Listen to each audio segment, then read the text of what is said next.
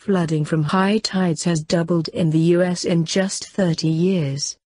Shoreline communities may be inundated in the next two years as ocean levels rise amid serious climate change concerns.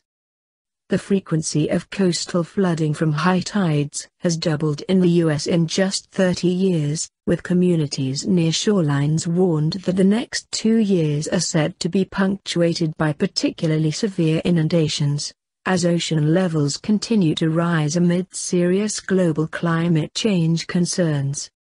Last year, there was an average of a six flooding days per area across 98 coastal areas monitored by the National Oceanic and Atmospheric Administration, NOAA, an all-time record.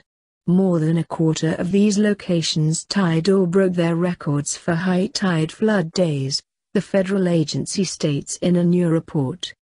Known as sunny day flooding, these events swamp streets and homes with water simply from the incoming tide, without the aid of a storm.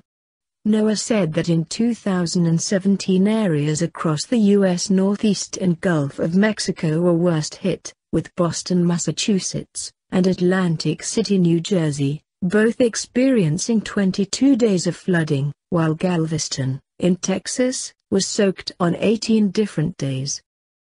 NOAA warned that cyclical climatic conditions during 2018 and 2019 may result in higher than expected flood frequencies in around half of the coastal sites it measures.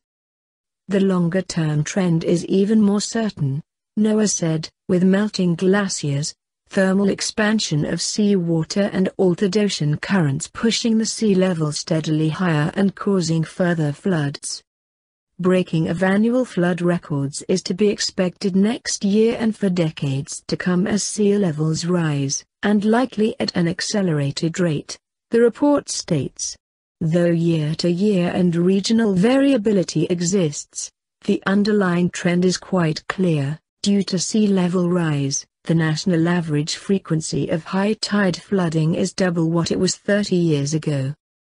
The NOAA report is comprehensive and clearly illustrates the increasing problems along our coastlines, said Ben Horton, a sea level rise expert at Rutgers University. There is flooding on all our coastlines, places where people live and work. There needs to be a national response to that.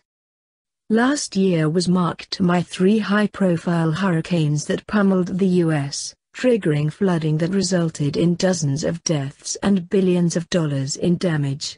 Scientists have found that warming temperatures, driven by human activity, is making hurricanes stronger, but it is also exacerbating more chronic nuisance flooding events by pushing up the level of the ocean. There's a clear upwards trend of this type of flooding, said Andrea Dutton, a geologist at the University of Florida.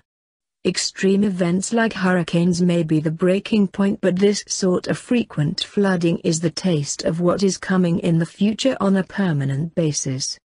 We need to rethink our relationship with the coastline because it's going to be retreating for the foreseeable future. Dutton said that South Florida, where weather forecasts in some places now come with tidal warnings, and fish are a regular sight on flooded roads, is particularly vulnerable. The low-lying region sits on porous limestone, which pushes up floodwater from underground, and many communities are unable to easily retreat because they back onto the Everglades wetlands. They used to get just one day a year of tidal flooding, now it's two months of it in the fall, she said.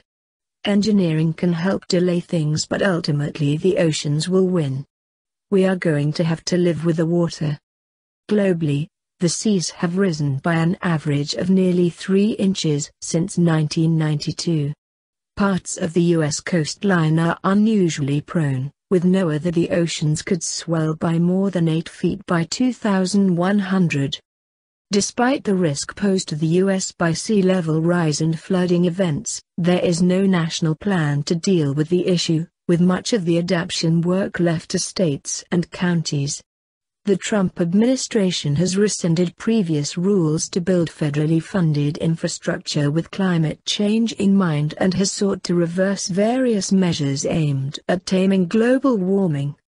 We need to take this report as a warning to prepare ourselves, or we will just sit around and wait for disaster to happen.